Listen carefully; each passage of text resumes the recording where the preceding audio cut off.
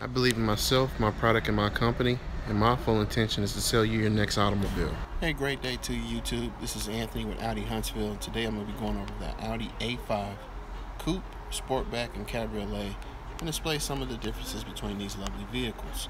Um, if you're looking for a family option, the Sportback is excellent. We also have the Coupe if you like a, a, faster, speedier ride with a little less weight. And then, of course, if you want to enjoy yourself with the top down, want to feel the breeze, we have the Cabriolet.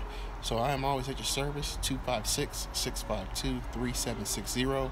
Now, thank you for watching. Don't forget to like, comment, and subscribe.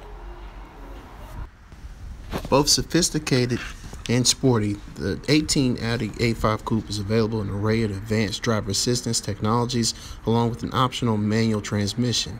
Apple CarPlay and Google Android Auto smartphone integration come standard on the A5 Coupe and is going to ensure you and your passengers stay connected at all stages of your journey.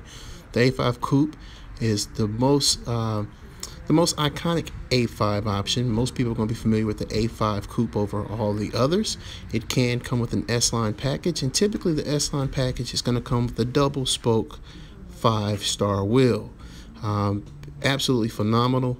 Uh, you can you know get this vehicle an array of different options and the A5 Coupe, although it's going to share the 252 horsepower amongst all three options, uh, they're all going to have the dual overhead cam four-cylinder engine, and of course it's going to be turbo fuel stratified injected.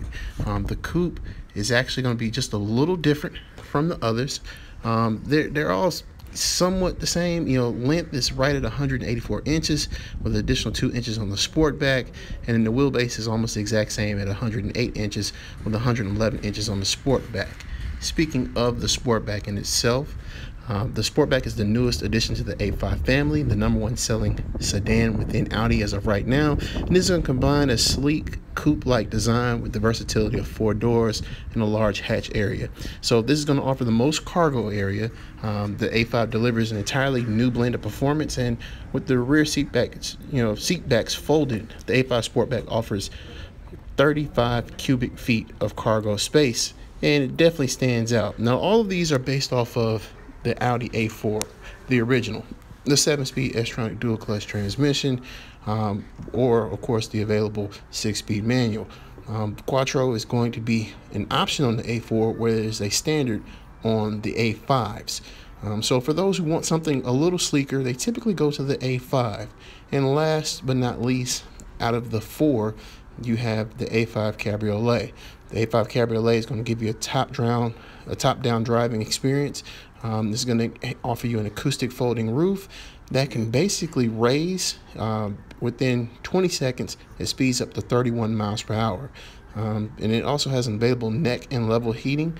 So if, depending on what's going on, uh, you can still enjoy yourself in the wintertime as well. So you don't have to only have it within that summertime.